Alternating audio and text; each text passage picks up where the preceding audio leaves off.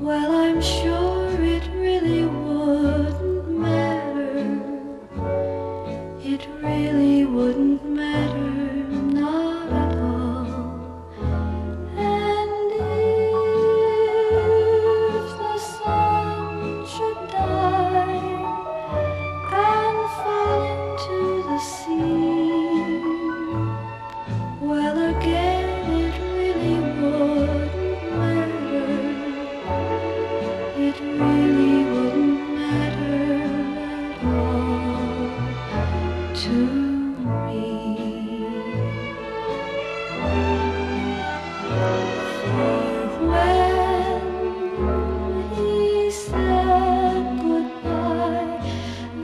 when